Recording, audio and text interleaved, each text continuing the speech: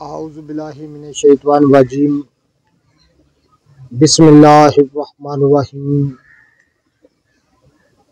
اللہم صلی علی سیدنا مولانا محمد والا علیہ وصحبہ وبارک وسلم تمام تعریفیں رب العزت کی ہیں جو تمام جہانوں کو پالنے والا ہے۔ جس کی تمام جہانوں میں بادشاہت ہے جو ہر چیز کا حقیقی مالک ہے۔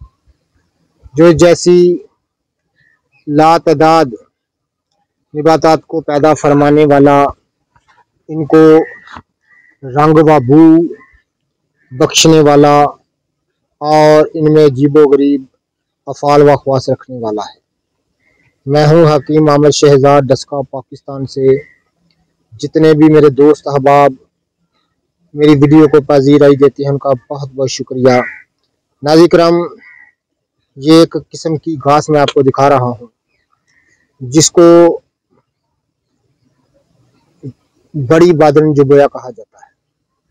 دراصل یہ بادرن جبویا کی فیملی سے بلانگ کرتی ہے۔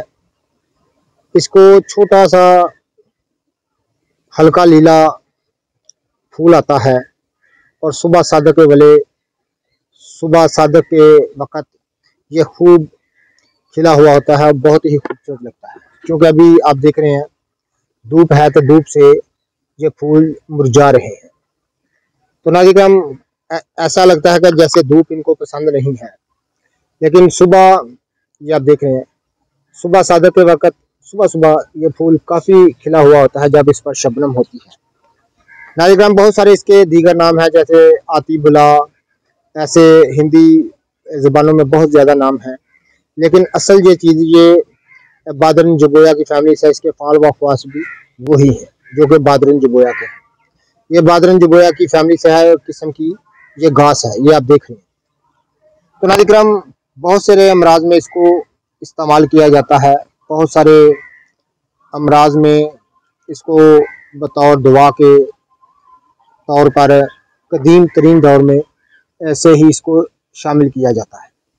یہ آپ دیکھ رہے ہیں، چھوٹے چھوٹے لیلے پھول ہوتے ہیں اس پہ۔ جیسے کہ یہ ہے۔ یہ اس کی صحیح شکل و صورت میں آپ کو دکھا رہا ہوں۔ آپ تمام قسم کی جڑی بوٹیوں کے متعلق جاننا چاہتے ہیں جو کہ بطور میڈیسن استعمال ہوتی ہیں۔ تو ہمارے چینل کو سبسکرائب کر دیں کیونکہ ہم جڑی بوٹیوں کے متعلق جانتے ہیں۔ ان کے فال و خواص کو جانتے ہیں۔ اور یہ آپ دیکھ رہے ہیں۔ یہ قسم کی گھاس ہے جو کہ زمین پر مفروض ہوتی ہے۔ تھوڑی سی زمین سے اٹھی ہوئی زمین پر ہی پھیلتی ہے اور یہ بادرن جبیا کی فیملی سے اس کا تعلق ہے۔ لیکن سنسکرت زبان میں اس کو آتی بلا کہتے ہیں اور ہمارے ہاں اس کو بڑی بادرن جبیا کہا جاتا ہے۔ اس کی صحیح شکل و صورت میں آپ کو دکھا رہا ہوں۔ جتنے بھی میرے دوست احباب میری ویڈیو کو پذیرائی دیتے ہیں، ان کا بہت بہت شکریہ۔ یہ آپ دیکھ رہے ہیں۔